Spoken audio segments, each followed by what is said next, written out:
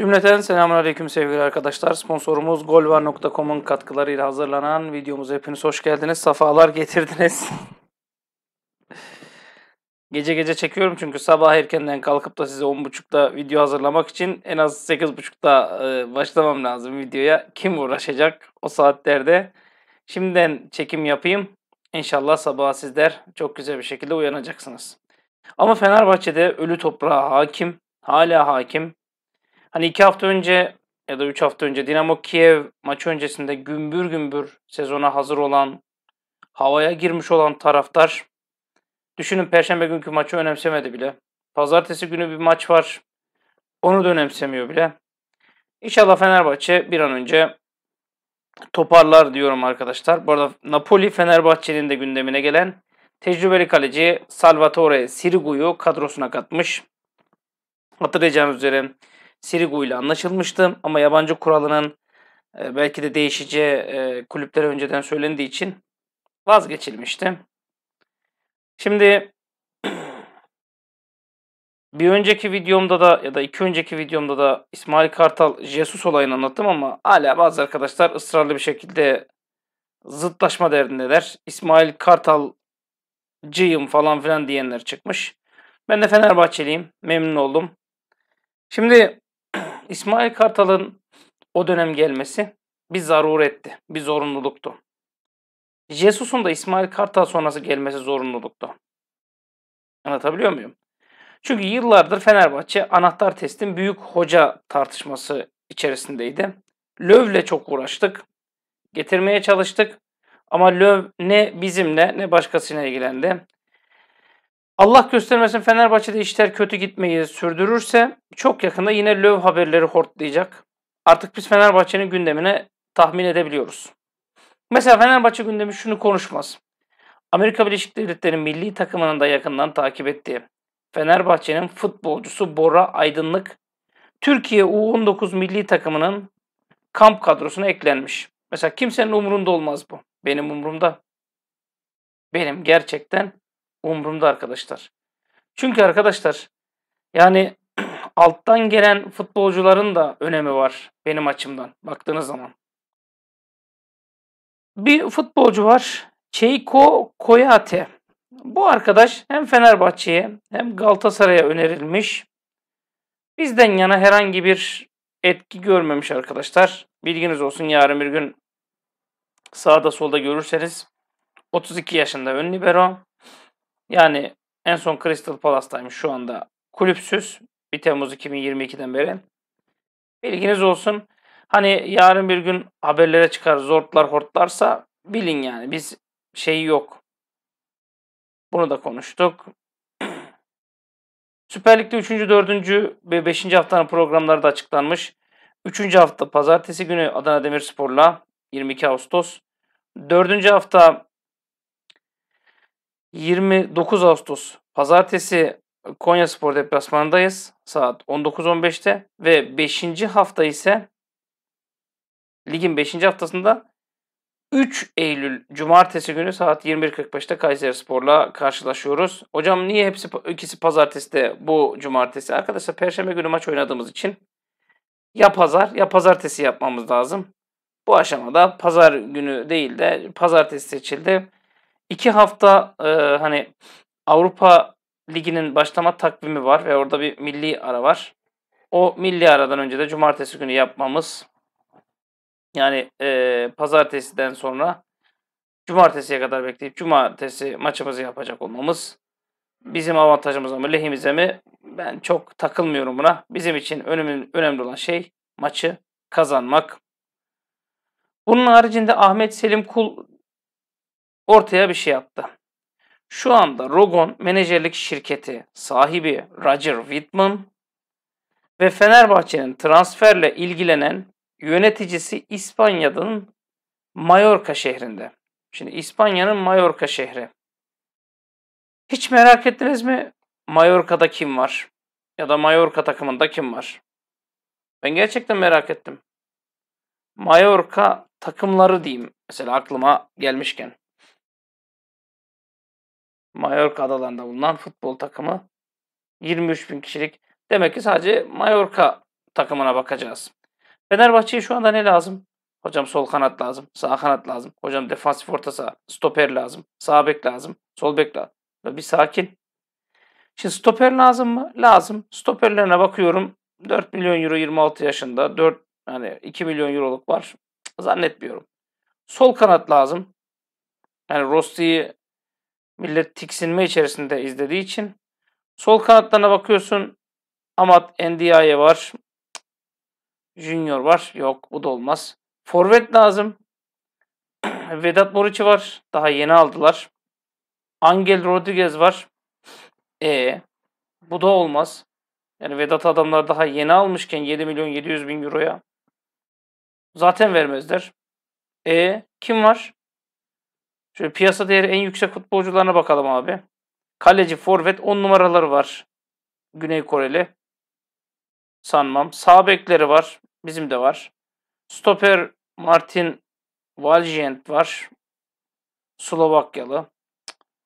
Idroso Baba var merkez orta saha. Angel Rodriguez var. Yani niye Mallorca şehrinde? Az sonra konuşuruz o kısmı. Ya daha doğrusu şüphelendiğimiz kısmı konuşuruz. Şunu söyleyeyim. Fenerbahçe ile ilgili çok enteresan duyumlar görüyorum. David Luiz duyumu gördüm en son. Ve bu duyumu veren arkadaş o kadar inanarak, o kadar yürekten yazmış ki. Diyor ki Fenerbahçe ve Lazio ve Alduhail David Luiz için teklif yaptı ama bu teklifler reddedildi. Üstelik Jorge Jesus'un listesindeki ilk isim David Luiz'di diyor. Bakın David Luiz listemizdeki ilk isimmiş arkadaşlar. Yani David Luiz benim bildiğim kadarıyla yaşı bayağı aldı yürüdü diye biliyorum ama 35 yaşında. Stoper. Flamengo'da 2 milyon euro piyasa değeri var. 31 Aralık 2022'de sözleşmesi bitecek. Zaten bedelsiz gelmişti. Kusura bakmayın. Brezilya'da 31 maça çıkmış. Bir asisti var. 2397. Sağ ayaklı, sağ stoper. Vallahi bir fesih durumu olup gelir mi acaba diye düşünüyorum. Bir taraftan da diyorum ki acaba hani acaba diyorum Tisserant'ın affedilme durumu var mı? Bir taraftan da sakalları kesiyorum. Belki de bugün giden kapı bekliyorum. İlginç bir hal içerisindeyim. Ama görünen o ki David Luiz olayı biraz palavra. Mesela e, Igor Pakşao. Biliyorsunuz değil mi Igor Pakşao'yu? Resmiyet kazanmış mı transfer? Yok henüz kazanmamış. Mesela Igor Pakşao 37 maça çıkıp 11 gol 8 asist yapan futbolcu. Hani şu Fenerbahçe toplaya toplaya bunu ben paylaştığım zaman mesela çok bilmiş bazı arkadaşlarım ala ala bu çöpü mü alıyorsunuz diyorlardı. Keşke alabilseydik bu çöpü. Hem de sol kanatta Rossi'nin yerine düşünülüyordu. Hatta 3 5 milyon euro istemişlerdi bizden. 3,5-4'e falan ayarlamaya çalışıyorduk. Almadık. Şimdi bu çöp yarın bir gün futbol piyasasına düşüp yeni Neymar olursa bugün o çok bilmiş arkadaşlar kuyruklarını sıkıştırıp bacaklarının arasına hiç ses etmeyecekler. Emin olun.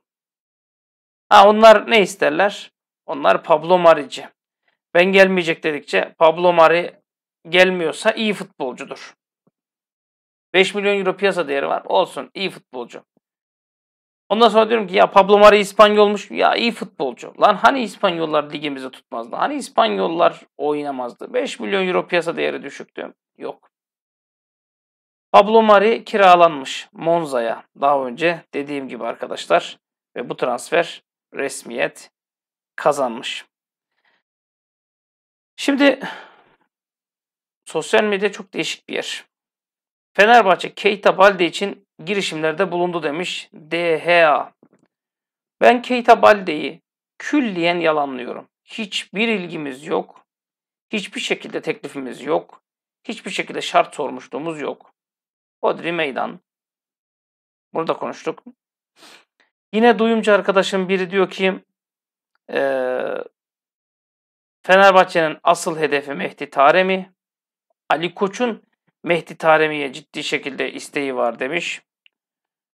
Ee, şimdi ben buna bir şey diyemem ama bunu yalanlarım arkadaşlar. Kusura bakmayın. Hani Mehdi Taremi'yi de beklemeyin. Valla baya baya kısa kısa net olarak gidiyorum ama bakın görün. Hani e, haber okuyorsun. Acele et. Bilmem lafı çok uzatıyorsun diyen arkadaşlara dikkat edin arkadaşlar. Hepsi kıvıracaklar. Hiçbiri bu videoyu beğenmeyecektir. Bak eğer sözlerinin erleriyseler, mertseler, bakın namert demiyorum. Zaten namert olduklarına eminim o arkadaşların. Mertseler, sözlerin eriyseler en az 1500 beğeni gelmesi lazım bu videoya. Gelmeyecek ama. 500 gelsin öpüp başınıza koyun. Oysa 700 küsür üyemiz var. Varın gerisini düşünün arkadaşlar. Herkes menfaati ölçüsünde insanlık yapıyor. Sonra sosyal medyalara yazıyorlar ki ben çok büyük adamım. Herkes beni sattı. Allah Allah niye acaba? Acaba sen herkese sattığın için olabilir mi? Bence olabilir. Bir şey daha belirteyim. Ee, bu önemli bir olay aslında. Yabancı basına göre Dnipro Artem Doybuk için 12 milyon euro istiyor haberi. Şimdi bu haber niye önemli bir haber? Şöyle anlatayım arkadaşlar. Bu haberi benim girme zamanım çok çok çok önceydi. Ee, sonra dediler ki hocam dediler Artem Doybuk şöyle futbolcu böyle futbolcu. Piyasa değeri 5 milyon euro yazıyor. Nasıl 5 istenir? 9'a alacaktık futbolcuyu. 9 milyon euroya kadar daha doğrusu 9 milyon euro istediler. Biz biraz daha düşürelim dedik. Ama e, futbolcu Ukrayna dışına çıkmıyorum dedi. Bakın Midland futbolcusu. Arkadaşlar ben size bir şey söyleyeyim mi? Bu Midland takımına odaklanın. Harbi söylüyorum bak. FC Midland takımına odaklanın. Abi bu takım son zamanlarda müthiş futbolcu transferleri yapıyor. Müthiş futbolcu satıyor. Ama hocam artı 350 bin eurodalar. Adamlar yatırım yapıyorlar. Bak bu Midland takımına odaklanın. İster şifre olarak algılayın, ister gerçek olarak algılayın. Mesela bu takımda merkez orta saha Evander vardı. Bu Galatasaray'ın adı geçen arkadaş buydu herhalde. Ben bu takımın sol kanadını merak ettim. Sisto'ymuş sol kanadı. Sağ kanadı Anders Dreyers. Bir şey söyleyeyim mi? Galatasaray eşekliğine doymasın. Galatasaray eşekliğine doymasın. Aynı şekilde Fenerbahçe falan da eşekliğine doymasın. Bu futbolcuyu kaçırdıkları için. 5 milyon euroya almışlar. Anders Dreyer. Ander Dreyer. Ya da Ander, Anders Dreyer. bir şey söyleyeyim mi arkadaşlar? Yanlış anlamayın. Yanlış bir cümle kurmak istemiyorum. Bu futbolcuyu hafızanıza yazın. Bak hafızanıza yazın. 5 milyon euroya aldılar. Bu futbolcuyu hafızanıza yazın. Bir de enteresan başka bir şey söyleyeyim mi? Rubin Kazan'dan aldılar. Rubin Kazan senin şu anda kadroda istemediğin Pelkas'ı falan istiyor. Öyle bir Rubin Kazan. Yani sen yani sen Rubin Kazan'dan gerçi bildiğim kadarıyla bir alt lige düştüler. Yani Rubin Kazan. Alt ligde diye biliyorum ama bir sürü futbolcu var. Hala Rubin Kazan'da bir sürü futbolcu var. Mesela alabileceğin futbolcular var. Ama kulağını takamışsın. Tıkamışsın. Mesela bir tane futbolcu söyleyeyim size. Bir tane futbolcu söyleyeyim size. Nereden söyleyeyim? Ee, Seat Haksabanovic. Karadağ doğumlu İsveç'te 5,5 milyon euro piyasa değeri olan. Mesela denenebilir bir kumar. Oliver vesaire var. Neyse çok fazla e, dallandırıp budaklandırmayalım. Yani Rubin Kazan'dan alınabilecek futbolcular vardı. Hala da var 2-3 tane. Bence denenebilir. Eldekiler giderse. Ama bu Dreyers ismini mutlaka aklınızın bir köşesine yazın. Bak aklınızın bir köşesine öyle bir yazın ki. Onu da söyleyeyim. E, Vigilant'ı konuştuk. Şimdi gelelim esas meseleye. Fenerbahçe Paris Saint Germain'den. Farkındaysanız hep sol kanat konuştum. 28 yaşındaki Alman sol kanat Julian Draxler'le ilgileniyor arkadaşlar. Draxler'le ilgileniyor. Oyuncu listemizde yer alıyor. Paris Saint Germain kadroda düşünmüyor. Fakat oyuncunun dizinde bir sakatlık var. Oyuncunun şöyle bir özelliği var. 8 numara, 10 numara ve sol kanat oynayabilen bir oyuncu. Ee, Draxler 2017 yılında 36 milyon euroya gelip Lig 1'de 131 maça çıkıp 17 gol 24 asist yapmış bir oyuncu. Fransa Kupası'nda 27 maçta 6 gol 10 asist yapmış bir oyuncu. Lig Kupası'nda 8 maçta 2 gol 2 asist yapmış bir oyuncu. Ee, ama sakatlığı var. Biz Draxler'le ilgili Rogon menajerlik şirketinden biz aslında e, Rogon menajerlik şirketinden birkaç futbolcuyu istemiştik. Açık söyleyeyim. Bu futbolculardan birisi Firmino'ydu. Bakın şu anda dalga geçtiğimi zannediyorlar. İnanmıyorlar. Diyorlar ki saçmalama. Firmino sana gelir mi? Maaşını neyle ödeyeceksin? Arkadaşlar biz Firmino için ben %100 olarak eminim. Bakın %100 olarak eminim. Şu anda Darwin Nunes forvet, Firmino yedek. Çok fark etmez. Yani Liverpool için çok fark etmez.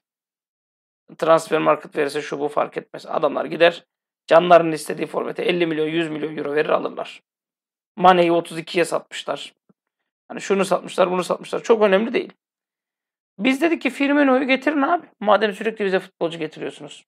Adamlar kabul etmedi. Etmez de zaten. Futbolcu da gelmez de zaten. Hani Liverpool'u bırakıp Fenerbahçe'ye niye gelsin? Akıl var, mantık var. Ama bunu yaptık. Gerçekten ciddi ciddi istedik arkadaşlar. Bakın gerçekten diyorum ciddi ciddi istedik.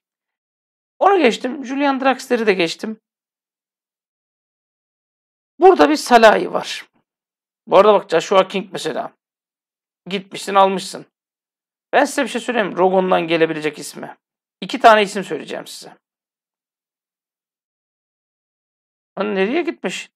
Sözleşmeyi mi feshetmiş? tane daha Salah'ı olacaktı burada. Allah Allah sözleşmeyi feshetmiş herhalde. Ha yok duruyor. Ben sizden Rogon'dan alabileceğimiz iki tane isim söylüyorum. Bir, John Anthony Brooks. Not. Bugün isteyelim. Bugün Fenerbahçe'de. Bakın bugün isteyelim. Bugün Fenerbahçe'de. Birçoğunuz şunu diyeceksiniz. Ya hocam bırak Allah'ını seversen.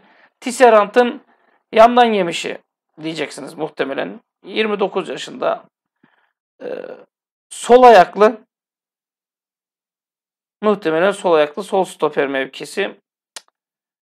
Bunu bize çok önerdiler. İstediğimiz anda alırız. Ama bir şey diyemeyeceğim. İkincisi Roland Salahi. Roland Salahi'yi de bize çok önerdiler. Biz o mevkide başkalarını oynatma fikrindeydik. Şimdi ben diyorum ki yani sadece soru olarak soruyorum. Roland Salahi 2025'te sözleşmesi bitiyor. Rogon'un oyuncusu o da Macar.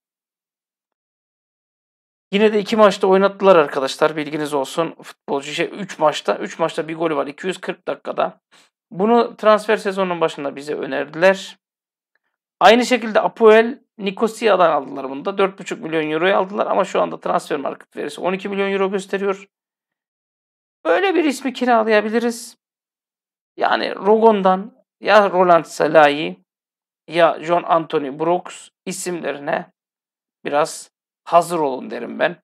Çünkü Fenerbahçe'de şu anda Berisha var 1. Pelkas var 2. King'i saymıyorum. Atilla Salahi var 3. Serdar Dursun'u da saymıyorum. O kalıcı. Ben diyorum ki bu 3 isim misal veriyorum. Atilla Salahi 15'e gitsin. Ee, Berisha da 4'e gitsin 19. Pelkas da 3.5'a gitsin 22.5. 22.5 milyon euroya giderse bu üçüsü bekleye bekleye Brox'u bekleyin ve Kanada bir isim bekleyin. Hocam hani biliyorum inanmayacaksın ama ya da cevap vermeyeceksin ama Firmino ihtimali var mı? Arkadaşlar zannetmiyorum. Bakın bu gerçekten istedik ama %100 olarak istedik. Buna kefilim. Şu şekilde istedik. Biz dedik ki ya arkadaş hani hep siz bize futbolcu dediniz. Bir de biz isteyelim dedik. Firmino'yu getirir misiniz diye söyledik ama e, atılan kahkahaların haddi hesabı yok. Zaten Liverpool'da böyle bir oyuncuyu vermez. Hadi verdi diyelim oyuncu sana gelmez. E, hocam gelmeyecek oyuncu. İşte niye istedik? Ben de bilmiyorum. Ali Koç'a gidin sorun. Gidin Ali Koç'a sorun. Uzun lafın kısası. Draxler'in ciddi bir sakatlığı var. Alırsın elinde çöpe dönüşür. Bir şey diyemem. Ama ilgimiz var mıydı? Vardı. Fiyatını sordurduk mu? Sordurduk ama zannetmiyorum. Firmino'yu zannetmiyorum. John Anthony Brooks her an hazırlanın. Çünkü maliyetsiz arkadaşlar. Bonservis bonservis vermiyorsun. Ne Nino'ymuş şuymuş buymuş uğraşacaksın. Bitti gitti. Tisserant'ı da 3'e 4'e sat. Al sana başarı. Hocam Bekao, Nino. Ben ne diyorum siz bana ne diyorsunuz derim. Roland Sanayi bize önerilmişti ama şu an için sağ kanat arayışımız yok. Siz sol kanada bakın. David Luiz kulliyen yalan. Igor Pakşa başka takıma gidiyor. Keita Balde kulliyen yalan. Başka Sirigu gitti. Bora Aydınlık milli takım. Çekoye Kuyeta kulliyen yalan. Bize gelmeyecek ona kefilim. Pablo Mari gitti. Mehdi Taremi'yi beklemeyin. Artem Doybuk'u beklemeyin.